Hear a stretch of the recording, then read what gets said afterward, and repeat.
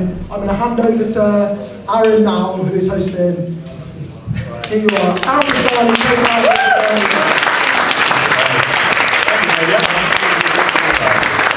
I was just commenting how this looks like a space where you'd bring a kidnapped politician for the right yeah, Imagine some Turkish Stalinists with like Erdogan's chief of staff. Right, so, uh, so we, everybody, it does look like that, doesn't it? Yeah,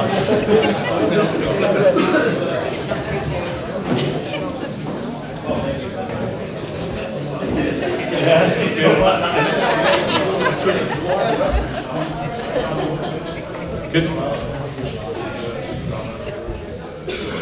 So I'll start from my left. Uh, we've got Max Shanly. Uh, Max, I believe you work with Jacobin, don't you? You collaborate with Jacobin. Uh, noted author of an article saying how all of the Blairites would be deselected, and that was about two months before Jeremy actually won the first time. Uh, so he's a very prescient intellect when it comes to the future of the Labour Party. Uh, to Max's right, I have Selina Todd.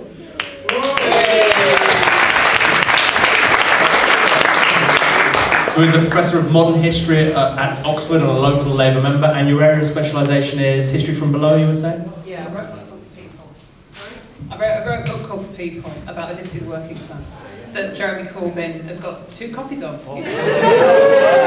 Available in all good bookshops, especially independent ones. And I'm president of the Socialist Educational Association. Big shout out to our member Steve Longdon who's here. We're setting up a great Manchester branch. Please join.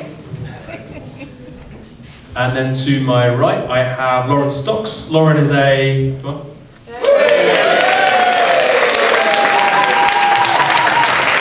Lauren is a tech science-based an activist. Just finished GCSEs. Uh, yeah, that's right. Bloody hell, yeah, yeah, that's right. Um, I, I, am nowhere near as, as impressive as uh, you know, Max, but I did, I did, I did go and slag off my uh, GCSEs for uh, two minutes on a live television. So. And then finally we have Paul Mason. Paul was at the BBC, I believe, 13 years. He was the BBC 13 years. He made it worth watching, nobody else does. Um, and he's of course the noted author of Post-Capitalism uh, and a, another Labour Party member, so we've got a full house, right? All Labour Party members, very good. Um, so today's Today's conversation is about labour and power, and of course, because we're coming out of a period of two years of desolation, graft, taking on the establishment and winning. Big hand to everybody here for that. And winning. Right? 72%. 72% of the delegates at conference were on the left, not the Mickey Mouse left, the left. Um, and that's really important. And now, of course, we're being told that we're being, you know, hubristic, hyperbolic, euphoric, just for saying, well, we've achieved something really momentous, which we have. So the question which we'll be talking about today about labour in power isn't done from a position of hubris or hyperbole, necessity, okay? Because it's clear that a, Labour Party led by Jeremy Corbyn, even with the programme of the kind we saw uh, in the manifesto of the last general election, would face momentous challenges, and each of today's uh, uh speakers will touch upon uh, one or two or several of them. I'll start with Paul Mason. I think, Paul, you can give a brief overview of the kind of institutional, political and economic challenges that a, a Corbyn government might face in the opening several months or years, so maybe you want to touch on that? Yeah, okay. Um, well, thanks for inviting me. Can you, can you all hear me? Um, so, I mean, the first thing to say is brilliant that this space uh, exists. I know the people who've been organising it, and it's brilliant to see it in its actuality.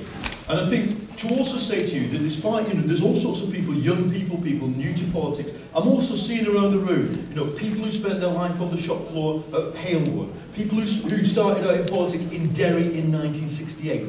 I, friends, people I've known for years. We have an incredible, what, it, what you might call capital, for use of once of a better word, of political experience in this room. And I hope in the time available we can all share it and learn something from each other.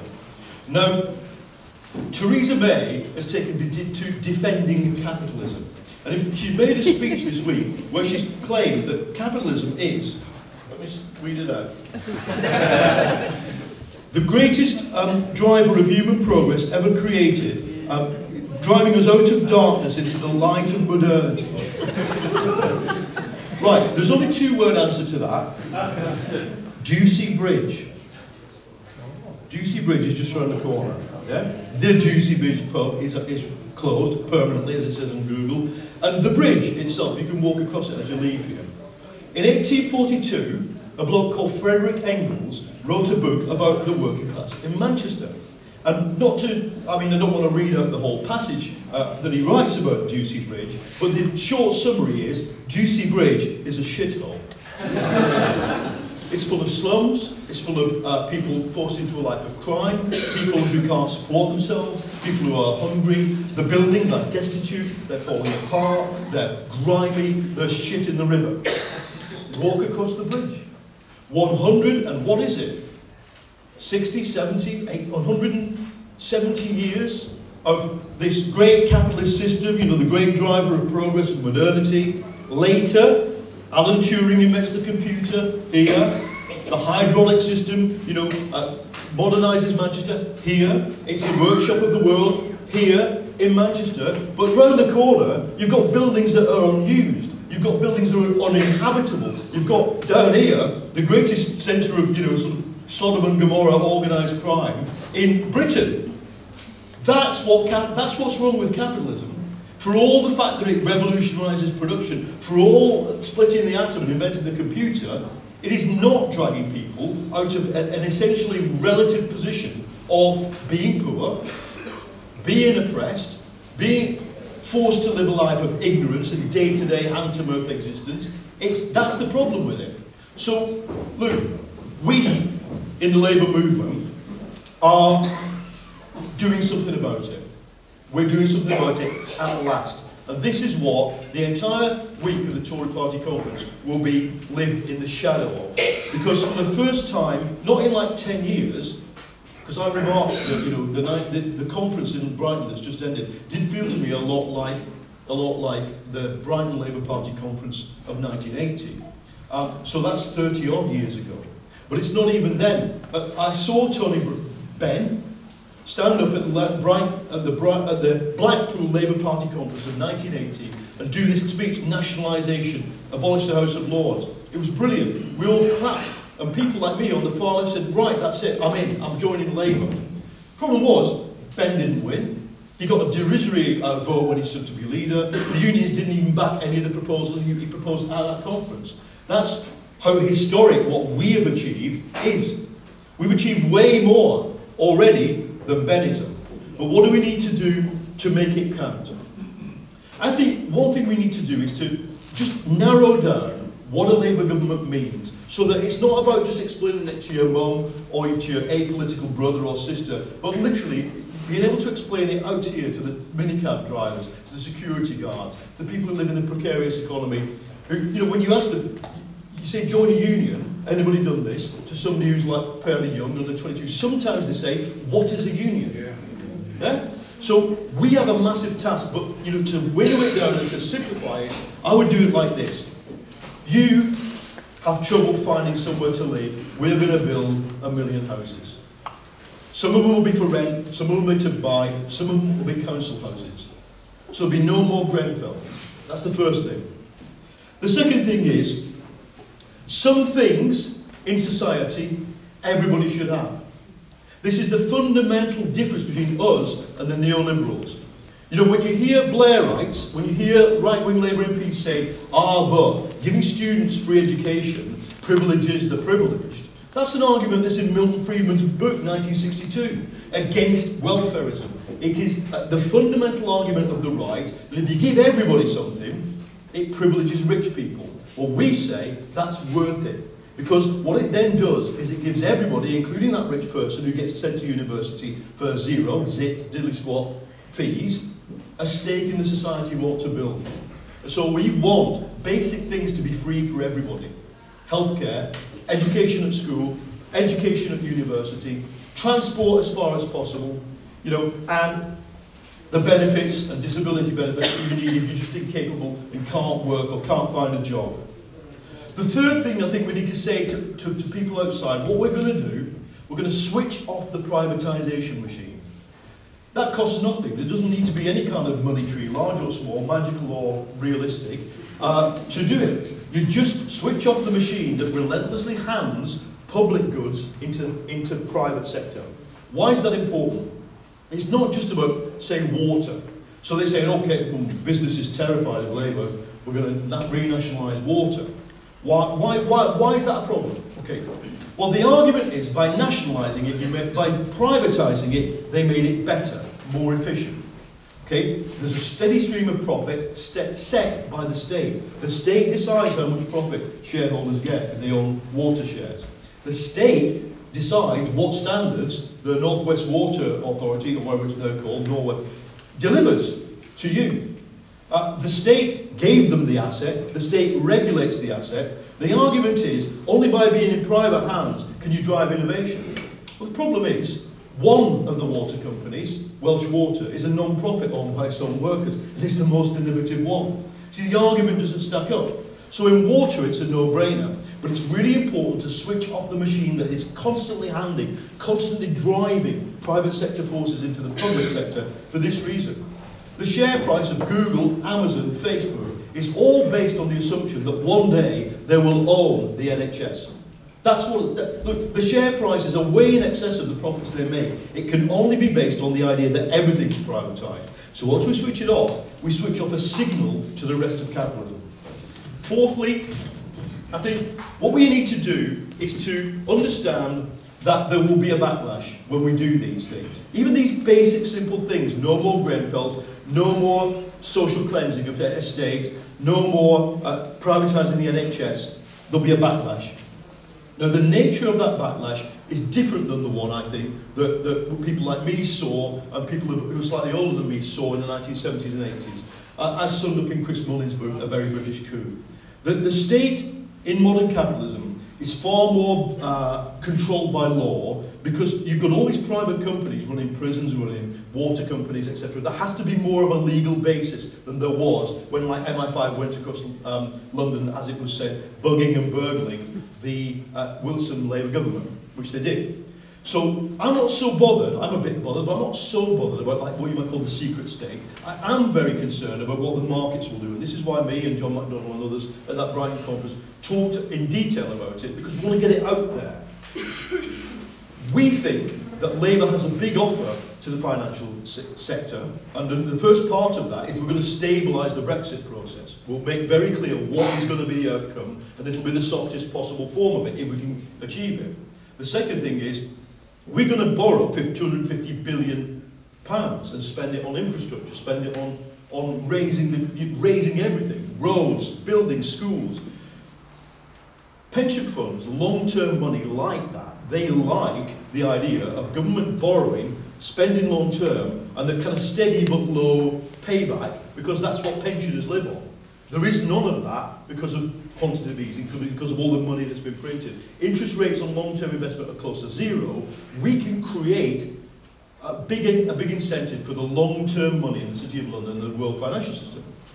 What we can't do is, is uh, I think, assuage the short-term money, the hedge funds, the people who are in it for a fast buck, the 24-7 uh, uh, currency markets. And we must accept, I expect that as a Labour government comes to power threatening this fundamental change in favour of working people and ordinary people, they're probably going to try and stuff us up, to put it in a polite way.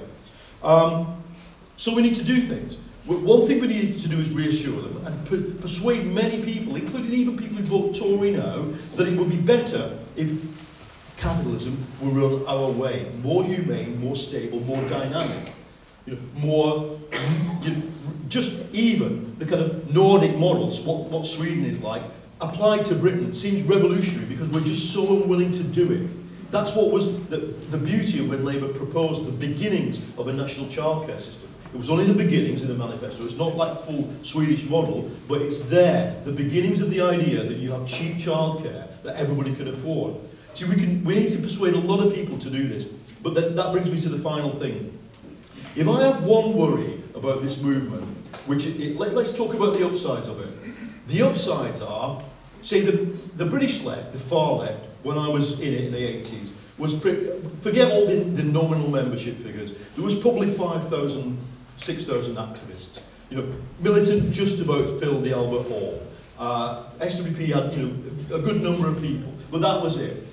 Momentum's got at least, what is it, 23,000? 30,000 members and 100,000 on a mailing list. Because they're not the SWP. It's not a disciplined organisation. I don't want it to be that kind of organisation. But it's a big organisation and it has a massive social footprint already.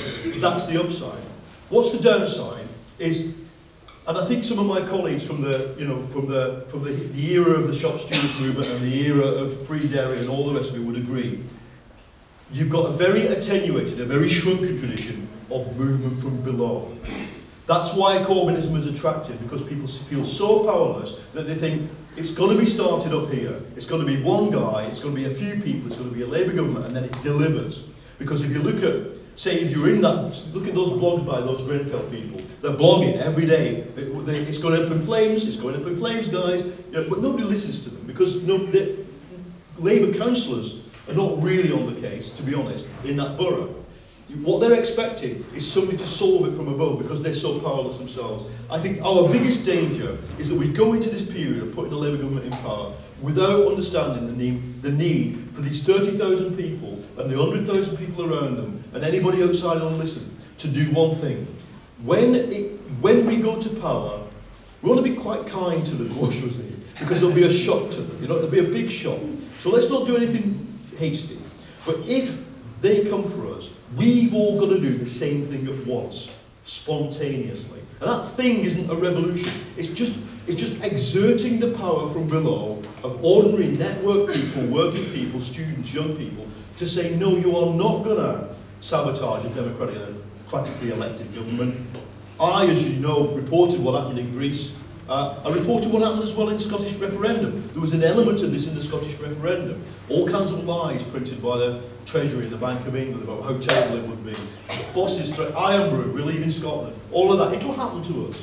But we've got to, in a measured way, without panicking, work out ways of uh, how people emerge from a building like this and do things lawfully, peacefully, in a way that says to you know, the, the international financial system, you cannot do this to us. And it was the absence of being able to do that that, that made Syriza lose, and I'm determined that we will not lose. Thank you.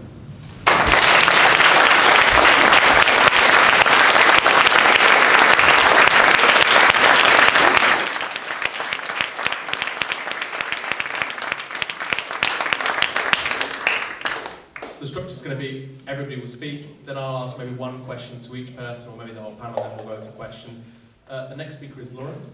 Uh, Lauren is going to talk about uh, the relationship between Labour and Power and the young vote. There is always the possibility of newly energised younger voters being the first to feel disappointment.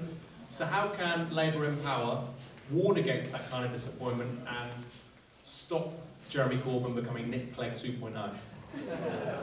You, have given me an, an, extremely well. I, I, don't say I don't, shouldn't say difficult question to answer. I'll, I'll but, that, no, no, no. Because we're going to have to compromise inevitably. Indeed. On, something. Yeah, but like Nick Clegg, that's um, that's slightly offensive. No.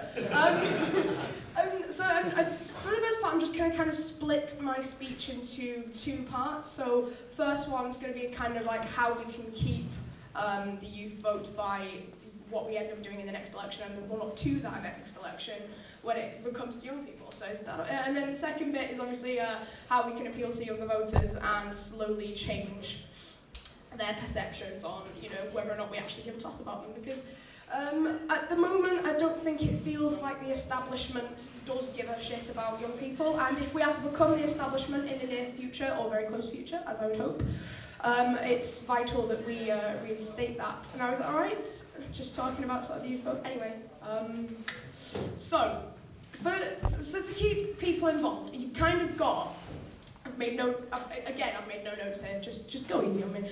Um, so we've got like this uh, kind of, one in three people saw a Momentum video on Facebook or Twitter.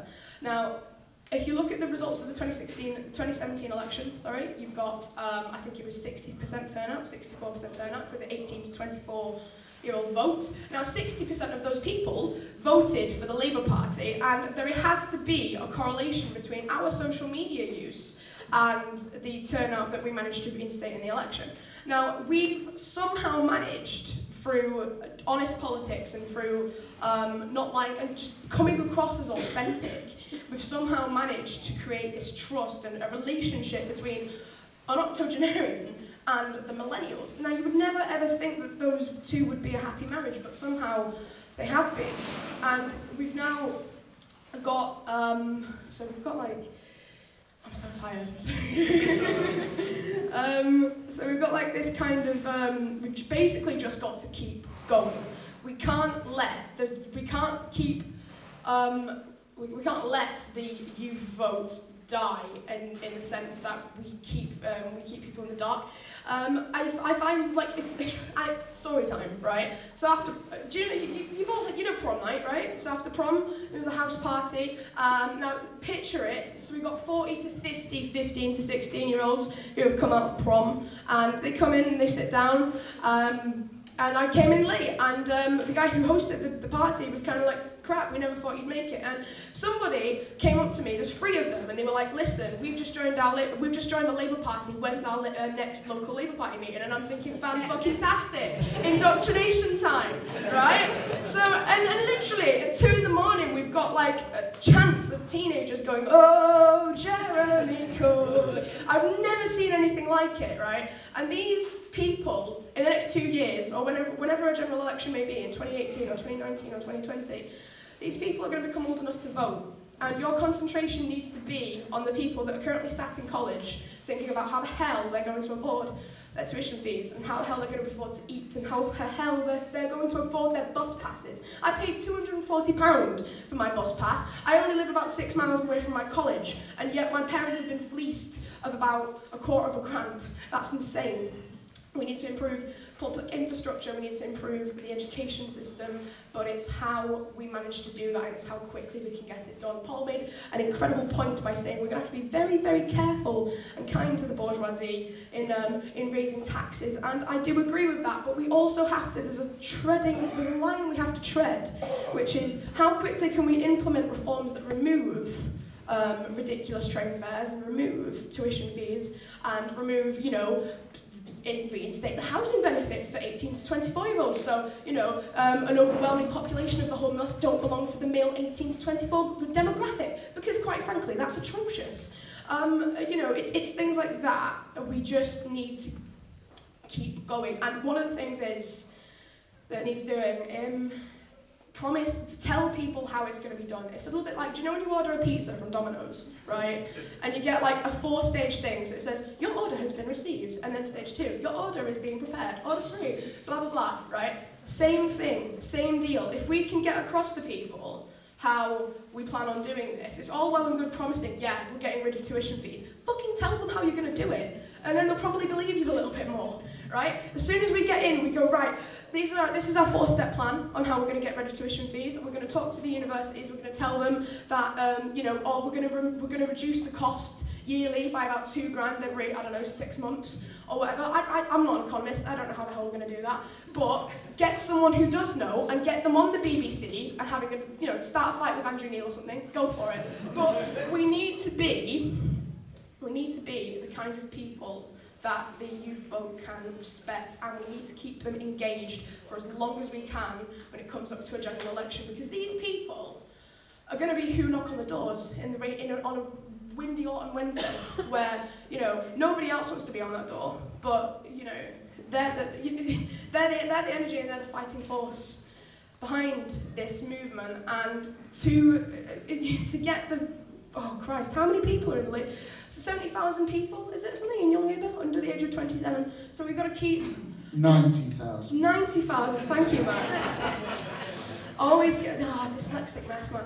So like, 90,000 people within the Labour Party are under the age of 27. And those are the people that, that who I've seen on the doors who are the most involved, who, are the, who, get, who care the most about being on the doors and being in phone banks and making sure that people are listening to us you know, they're the ones who come to things like this. And for us to get in, for us to get into power and just be like, we've done it, and we, we just can't, we can't stay complacent. That's what I'm trying to get at. This is really long-winded and I'm not making sense, but just bear, bear with me. So we've got like, you know the education system? I don't, how many here have um, seen the, um, the Guardian thing I did a while back? It's kind of, I had a lot of things on my mind that I wanted to say that I couldn't get out. One of those is that um, 51 million is planning on, is getting cut from the school's budget in Greater Manchester by 2021. 10,000 teachers have left the profession from 2010 to 2015. Um, 60% of schools' costings are rising faster than their income. We need to, we just need to sort that out. Um, I don't know. It's literally, it's, it's that easy as keeping people um, from, from having mental breakdowns and, and making sure we can empower people to learn over pressurizing them and hitting them over the head with, if you don't do well in your school, you're going to be sat on your ass watching Jeremy Kyle. We can't, you know, we can't, um, Ah, I'm not making any sense. I'm so sorry. I'm so sorry. Um,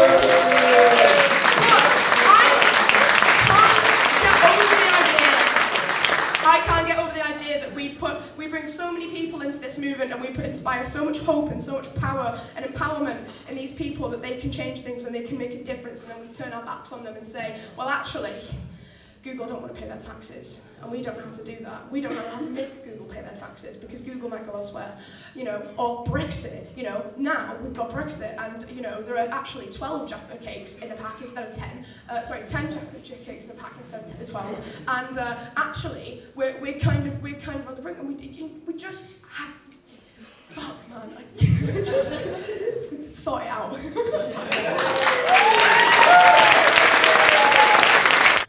Selina, you're going to offer a bit of historical context, I believe, as a historian, about the deep state, about power, about the difficulties of governing from the left.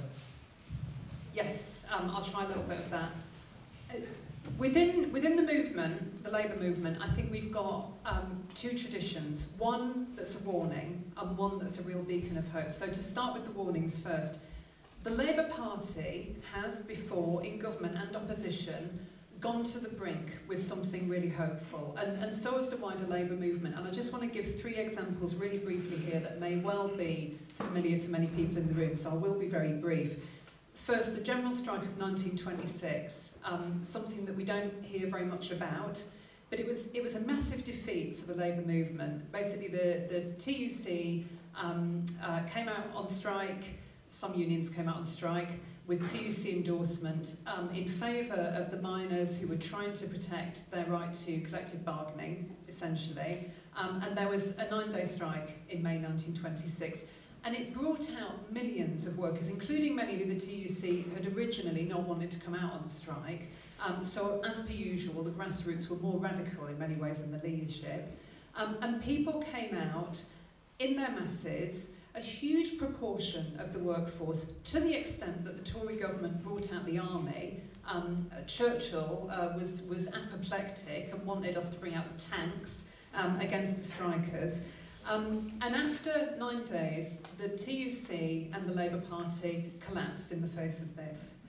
And many ordinary workers were really disappointed. They felt that there was an alternative, that if we had just stayed out a bit longer, we could have won. And instead, it was a massive defeat. Okay, so that, that's one. And, and with each of these examples, what I'm trying to suggest is it was never inevitable. It's never, ever inevitable that we back down in the face of, in that case, the military and a Tory government.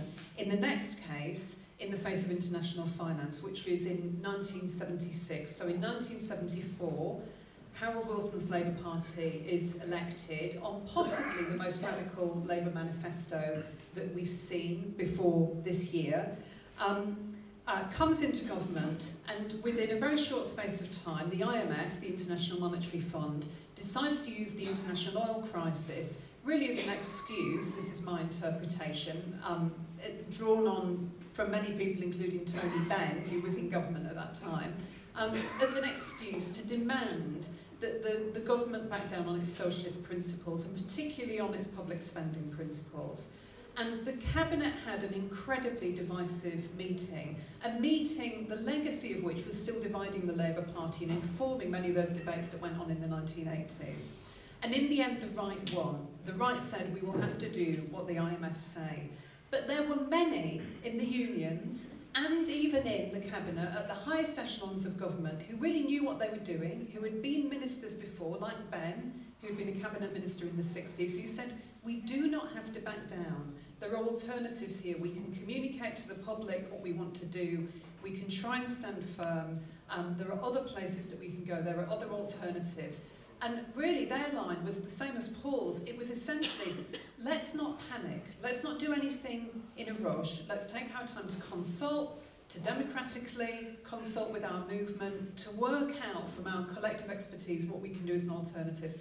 That didn't happen. It was a, a big defeat and in many ways helped to pave the way uh, for Thatcherism by giving ammunition to that great Tory lie that common sense um, is capitalism, that the two are absolutely interchangeable, there is no alternative. The third, perhaps even more shameful example comes in 1984-85, where we now know that what Arthur Scargill, the NUM, was saying was absolutely true, that Thatcher had been planning this for years, the confrontation with the miners, that it was entirely political. And the Labour Party locally showed great solidarity, as did many of the unions, but nationally, the leadership was a real letdown. Um, and again, backed away from massive class confrontation, in that case because they believed that it would make Labour look unelectable. What a mistake that was. So those are some real lessons about what happens if you act in haste or on ill-judged assumptions that are made without consultation about what is economically viable or what makes you electable, and which in each case is never proven. You know, if we think about the IMF case in 1976, the actual consequences of what happened there were disastrous. We're constantly told by the press and so on that that cabinet made the only possible decision um, because the alternative would have been a disaster. Well, I'm sorry, but given that economic inequality then rose hugely over the subsequent 20, 30 years, given the state that the country is now in, that Paul outlined for us so eloquently, I think that that, disaster, that, that, that, that decision in 1976 was economically disastrous. So these are all decisions that were taken in haste without due thought and process, and, and we need to learn from that. But we do have examples of really good practice as well, and many of us who were at the events earlier in this building upstairs were reminded of them. They come out largely of the trade union movement which is a longer run part of our movement than the Labour Party, which only came to being in the 20th century. But the TUC, the trade union movement, was founded here in the first half of the 19th century. And we can really learn from that because, and I won't go on about examples, and I know some comrades in the room were upstairs and others have been massively involved with the recent campaign by the McDonald's workers, and we've seen some really notable victories and encouraging signs within the labour movement generally, nationally and internationally, um, over the last few years. And I think what those victories show, as with the movement in the 19th century, is that anything is possible. Because they told us back in the 19th century that we couldn't unionise. We, we, we weren't articulate enough, we didn't have an education, many of us weren't literate, and yet people got together and organised, and by the end of the 19th century had collective bargaining rights. None of those employers wanted to give collective bargaining rights. They had no interest in negotiating with people. Many of them were using unskilled workers who they said could easily be replaced and if any of the workers made, made any threats then they would be out on their ear.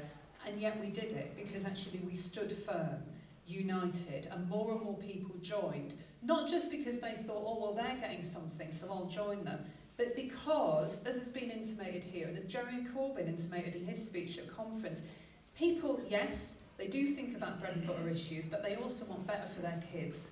And so they, all, they have got always the capacity to be imaginative, to be political, to think ahead. And the trade union movement makes sense. Whereas employers, in the end, very often just looking to make a fast buck, they don't have their eye on the future. So their interests are always disconnected to ours in the end.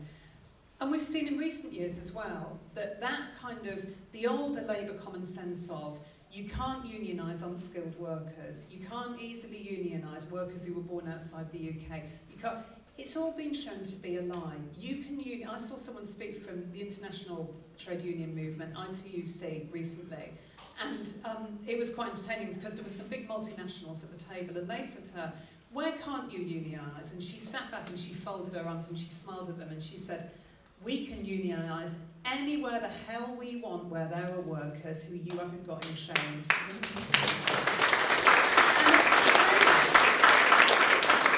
It's true. We can do anything. Because if, if there were any limits on our collective power, we would not be sat here now saying this is the home of the TUC. Because there was no feasible reason for that to succeed. That's the history. How do we learn from that in terms of, um, of, the, next, of the next government? They've got, to hit, they've got to hit the ground running, and that means having strong policies. The manifesto was a start, but I absolutely welcome the NEC's decision on the Commission on Labour Party Democracy because we need full consultation to make sure we've got strong, robust policies in all areas. They're not there yet. We need that, and we need a 100-day programme. Now that consultation, we need to make sure is totally democratic. From the top, the Labour Party is doing absolutely the right thing with that commission. Organisations like Momentum, we've got to do our part as well. At the moment, there are various people who Labour talk to. John McDonnell is an absolute star because he searches far and wide for experts. But those of us who are in connection with shadow ministers know that they are still under threat from the right of our party. They don't have all the time in the world. So those of us who've got their ear have got to make sure that other experts, other experienced comrades who can, who can lend support get to those channels. Yeah, so we don't get back to that dreadful situation that I used to cringe at where the people who were close to Tony Blair were always sort of saying to him, oh, Tony said, Alistair told me, you know, Gordon says, I mean, it's just awful, isn't it? And actually, one of the things I like about having meetings with shadow ministers now is that when they talk about Jeremy Corbyn, they talk about Jeremy Corbyn. They don't expect me to call him Jeremy or anything like this. You know, it's, they're, they're trying to be very democratic. So those of us who are lucky enough to have some kind of ear with them, we need to make sure we spread the love, we get the word out, we get other people in. We also need to make sure, though, that we've got good outriders, which is a term that I've nicked from Owen Jones's The Establishment. Excellent chapter in there about how the right have got outriders, including liberal ones like Polly Toynbee. We need to make sure that those of us who've got a voice in the press, in the media, use it as much as we can, but that also all of us who've got a social media presence use that to get the word out that common sense is about socialism. We also need to make sure that within the local party and within and, and regionally as well, that we've got the grassroots with us, and we have. And that is something which is so new. Because all of those examples that I talked about in the past, even in 76 where the cabinet was split, the, the top echelons, the leader of the party was, was of the right, essentially. Wasn't, you know, wasn't one of us. So we've got this amazing opportunity now, which is very, very new, which is right at the top of the party. The left is represented. And we've also seen that at the top of many of our trade unions as well. So that is something we can really, really build on. And we've got that with the grassroots um, as well. So we need to make sure, though, that that is reflected in terms of how our local parties operate. And those of us who are within the Labour Party know that Labour Party politics is not fun. It's really boring um, a lot of the time. So I know we've been talking in our local party about the need to bring new members in and members who aren't as active in, having fun stuff, stuff like this, days where people can bring kids, those kinds of events that bring people in, that make them going to branch meetings a bit less purgatory than they can be. We've got to do that because the councils will be really, really important. A lot of Labour's policies, if you look at, say, education, are about devolving to local areas. So these right-wing Labour councils potentially have a lot of power, but we've got leverage over them. We know we have, because we, we're already seeing it. Even in Manchester, where the, the right-wing council is very, very powerful. So we need to make sure that we keep the pressure on. Yes, branch meetings are dry, but if we can just make sure that these councillors and these MPs know that their careers depend on us, then we've got a bit of leverage. And I stress that here because I know that I'm among friends, and I also have seen how the right have operated since the election with their, well, we've changed a bit, and you know, and all of this, and we just want a broad church, and you know, we just, you know, want to represent all of you. I'm sorry to sound factional, but they are talking crap. they,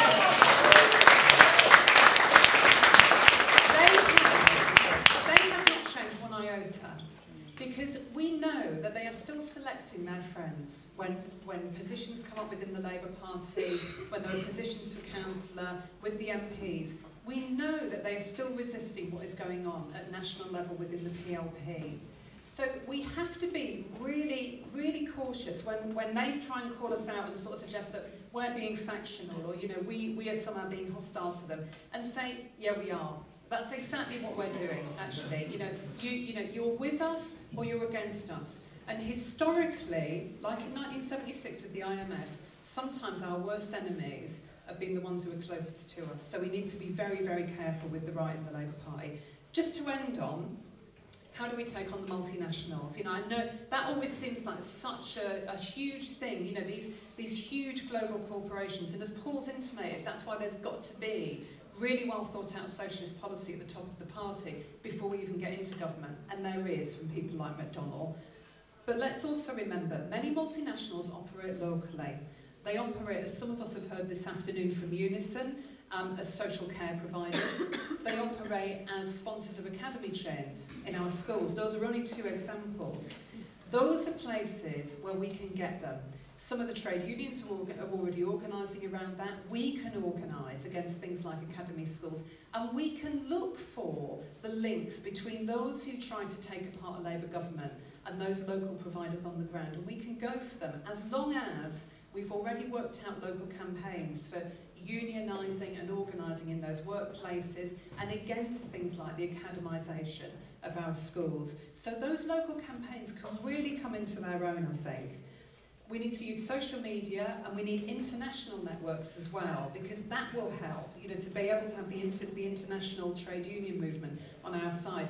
But in the end, I haven't got any specifics on how we do what Paul said, and as he intimated, we need the expertise of comrades in the room to start thinking about this. What we do if we find that the banks and the multinationals and the Bransons and all the rest of them take it on, we know that Corbyn and McDonnell and Trickett and the rest of them are going to stand up and say, bring it on. And that is massive. And we need to, at the very least, be solid with them. Because, as I've tried to say, socialists got nowhere without taking a leap of faith. Because everything that we've done has been about bread and butter issues, but very often we've had no precedent for what we've done. We've just had to look at the future and say, we think we can do better with our imagination, with our potential. and we're just going to take a leap and see what happens? And in the end, when that exit poll comes out saying Labour has won by a fucking landslide, we are going to drink ourselves to death and then we are going to get up at six o'clock the next morning and link arms and we're going to take that leap of faith.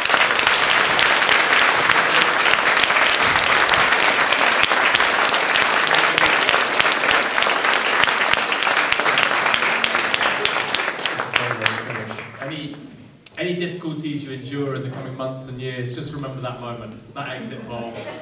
Remember, or, you know, speculate about Dimbleby's face, about Jeremy Corbyn in the car, the Jag on the way to Buckingham Palace. Next is um, Max. Max be talking about, Max, obviously we had a brief discussion prior to the talk, what would you like to speak upon, etc. Max just said, the party. Uh, so with that in mind, I'll leave it to Max. So Labour in power. What does Labour in power mean? Well, for Labour in power for me means a fundamental and irreversible shift in the balance of wealth and power in favour of working people and their families. That's what I was always brought up to believe the Labour Party stood for, and that's what we've got to do. Um, when I said to Aaron I wanted to talk about the party, the reason I want to talk about the party is because the party is our vehicle fundamental social change. And as it's presently structured, as we've all seen over the course of the past few years with the domination on high from the Southside and so on, is that what they are very keen to do is to control us. And the reason they're keen to control us isn't because they're all nasty controlling individuals and whatnot, it's structural. It's because all political parties reflect the type of society in which they come from. we live in a capitalist society, and so the Labour Party in its structures, practices and modes of behaviour reflects capitalist logic and capitalist order. That's why the Labour Party is an extremely top-down body. It's just like capitalism. You have a few people at the top, small minority, who tell the masses what they are allowed and what they aren't allowed to do, and we're all supposed to go along with it. Now, if you are in favour of a socialist society like I am, and I assume the majority of people in this room are. Anybody who isn't. um, I'm kidding. what that means is that if we are to transform society, then the first step is to transform the party. Democratise the party, to democratise the state, to democratise the economy, because unless you democratise the state, you'll never be able to democratise the economy, And if you don't democratise the economy, then you'll never have socialism. So otherwise you just have a sort of uh, more nicer version of capitalism. And I don't know about you, but I don't really fancy being exploited for the rest of my life. Um, I don't even really want to work either. um, that's why I'm really pro the post-work society. You know, I want to lounge about in bed all day watching Rick and Morty on Netflix, and chatting to me mates, and you know, that's what life should all be about. Um, but, uh, but anyway, I digress, more to the point. As we're presently structured, we are geared towards a specific type of politics, the politics of electoralism, that it's all about getting the vote out and that nothing else matters. But the fact remains that we can't afford to do that anymore because there are millions of people out there who need our help now. We can't wait until election time. And even when we, and even when we win the election, which I'm sure we will win the next election, or at least I hope so, uh, it won't be enough simply to elect 300 odd Labour MPs, give them a pat on the back and go, go on lads, it's your turn now, because they will face pressures from all sides and uh, even from inside. Now this is why we then go back to the, the, the question of the party, because the limits of party democracy itself reflect the limits of capitalist democracy. We've had this big awful debate around uh, the issue of mandatory reselection as of but nobody's really tried to explain what it actually means. Well, all mandatory reselection means is that within the lifetime of each parliament, the constituency Labour Party would get together and decide who they were going to run at the next election.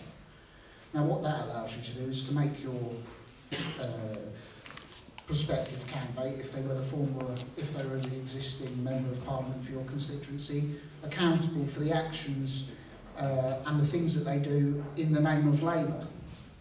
Um, So it's not as frightening as it sounds, but the reason why it's so frightening to the press barons and backbench MPs is because it, it challenges the logic of capitalist democracy. That a representative is supposed to be up there and once they're there they do all wonderful things and they're so nice and lovely goes back to the ideas of Edmund Burke in the 17th century. You know this was a man who is now famed and uh, famed for his contributions to the thought of parliamentary democracy, but he only visited his constituency three times in 20 odd years. Um, you know, hardly the type of person we want our representatives to be basing themselves on, but in far too many cases, that is what we've got. And so this then brings us to the task of local parties in government. And in national government, means. How do we organise the unorganised?